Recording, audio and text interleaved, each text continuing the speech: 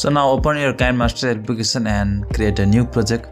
So choose any ratio you want and click on next. So now let's go to image option and choose a white background. So after that go to the layer option and now add a text layer. So now write your text. So after that click on ok. Now change the color of the text so i will prefer black color. So now you can choose the font as you want.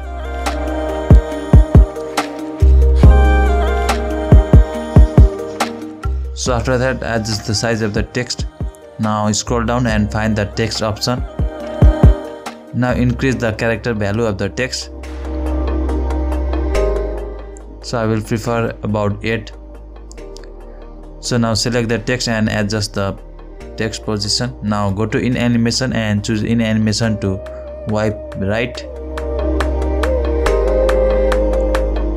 So now keep speed of 1.5 or you can also keep your desired speed. Now go back and let's choose out animation.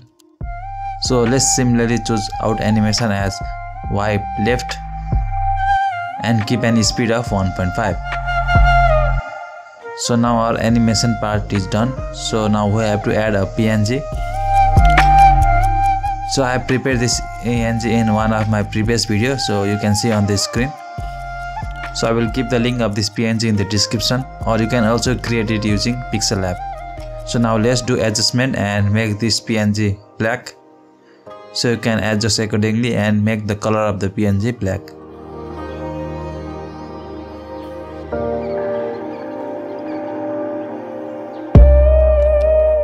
so now let's expand our timeline. So it will help to animate easily. Now adjust the png in the beginning of the text.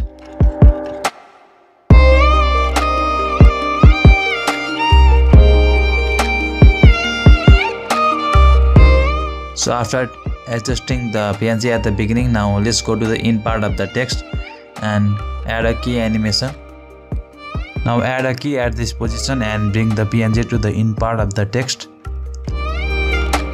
So now split at this position. Now select the png and go to the scissor option and split at playhead so now let's go back and for the out animation. So now split at this position. So now add key animation here.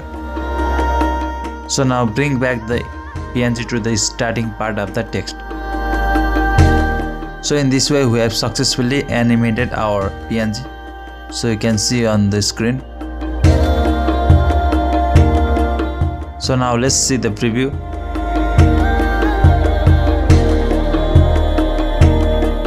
So now let's add blinking effect to the middle part of this png so now select the PNG and go to overall animation and choose animation as blink. So.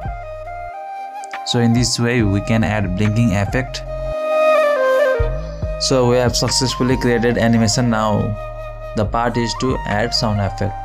So now for the sound effect go to the audio option and go to SFX. You can get this sound effect in the store of the KineMaster. So download this keyboard uh, sound effect. So I will add both the sound effect.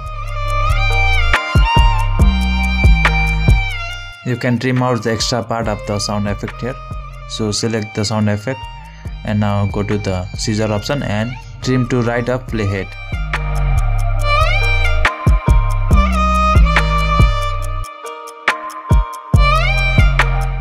So in this way you can easily create typewriter effect text animation in KineMaster.